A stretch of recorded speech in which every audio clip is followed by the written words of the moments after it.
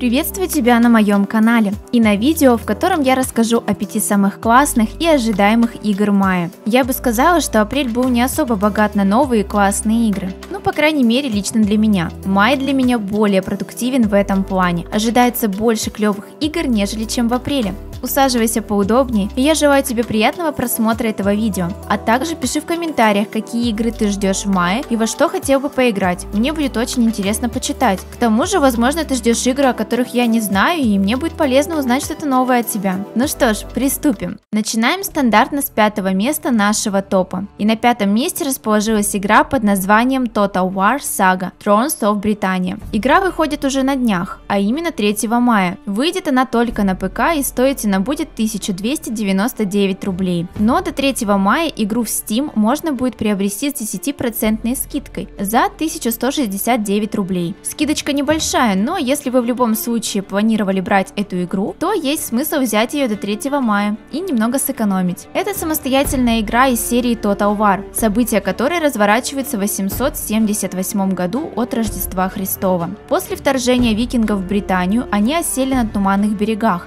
но правители Англии, Уэльса, Шотландии и Ирландии не собираются отказываться от своей власти. Являясь горнилом исторических возможностей, где зарождается будущее всего Туманного Альбиона, Британия станет новым полем брани, где игроки смогут повести свои войска в бой на самой детализированной карте кампании во всей линейке Total War.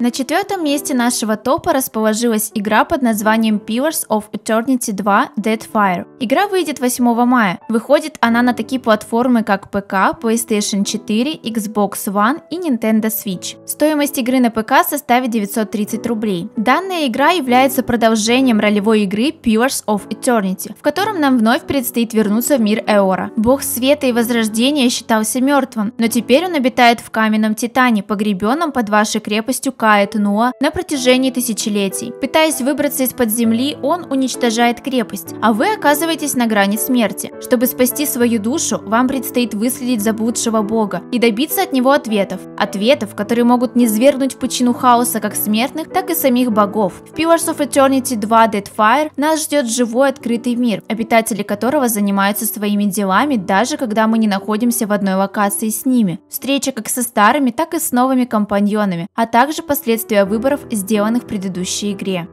На третьем месте нашего топа находится игра Эгони. Это потрясающий хоррор, который я лично жду, и он должен был выйти еще в марте. Но разработчики перенесли релиз игры на май, а именно на 29 мая. Игра выйдет на ПК, PlayStation 4 и Xbox One. Стоимость игры пока что неизвестна, к сожалению. Эгони это хоррор с видом от первого лица, в котором игроку в роли терзаемой души предстоит спуститься в самый настоящий ад, потеряв все воспоминания о прошлом. Особая способность вселяться в других людей и даже брать под контроль низших демонов – это ключ к выживанию выживанию в экстремальных условиях. Путешествуя по аду и входя в контакт с другими изнеможденными душами, герой поймет, что единственный путь к спасению – это встреча с таинственной красной богиней. Игра содержит откровенные и насильственные сцены, и возрастной рейтинг у нее соответствующий – 18+. Как классно, когда ты уже взрослый. Но эту игру я очень сильно жду и безумно рада тому, что она будет локализована на русском языке. Так что буду ждать вас на стримах по этой игре. Будем с вами бояться вместе. Переходим ко второму месту нашего топа. И здесь нас ожидает игра под названием State of Decay 2. Данная игра выйдет 22 мая на ПК и Xbox One. Стоимость игры по предзаказу составляет 1949 рублей. State of Decay 2 это многопользовательская игра на выживание во время зомби-апокалипсиса. В ней нам предстоит построить новое сообщество, работая в одиночку или вместе с другими игроками, так как игра содержит кооператив и ты можешь играть максимум с тремя друзьями. В этой игре ты решаешь как именно будешь выживать, и каждый твой поступок влияет на это решение. Исследуй открытый мир, наполненный как зомби, так и враждебно настроенными людьми. Привлекай в свое сообщество новых членов и добывай ценные ресурсы и снаряжение. Каждое новое прохождение игры не будет похоже на предыдущее. Открытый мир живо реагирует на наши поступки, меняется в реальном времени, открывает новые возможности и ставит перед нами непростые дилеммы. От того, как мы их решим, зависит дальнейшая судьба нашего сообщества.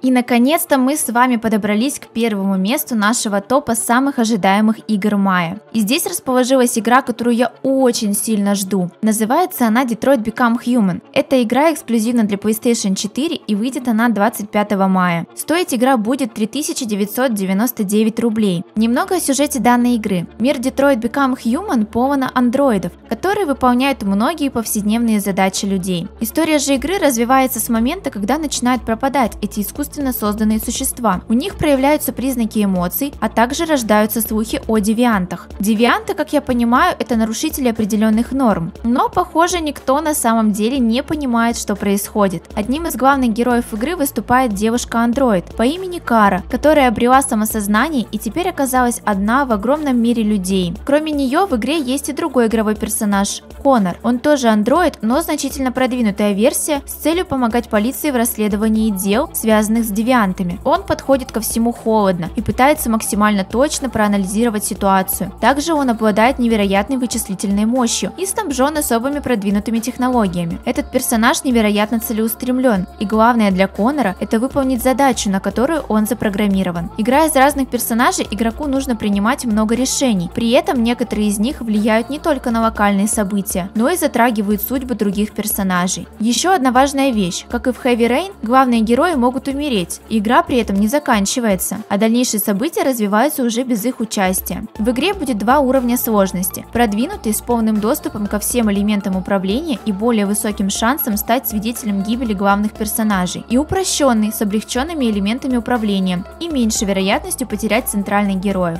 Первое полное прохождение займет 10-12 часов и еще 25-30 понадобится на то, чтобы изучить все оставшиеся варианты истории, которые предлагает игра. Но согласитесь, Согласитесь, игра, похоже, будет просто бомбическая. Я ее безумно жду. А еще буду ждать вас на моих стримах по этой игре. Надеюсь, вы составите мне приятную компанию. А на этом наш с вами топ самых ожидаемых игр мая подошел к концу. Жду ваших комментариев с играми, в которые вы хотели бы поиграть в мае. И хочу вас попросить поддержать меня лайком под этим видео. Каждый ваш лайк помогает моему каналу в развитии. И я вам за это очень благодарна. А если ты впервые на моем канале, то подписывайся и жми на колокольчик, чтобы оставаться со мной и не пропускать следующие интересные видосы и стримы. Надеюсь, тебе понравилось мое видео и я была тебе хоть немного полезна. Спасибо за просмотр, пирожочек. До скорых встреч! Thank you.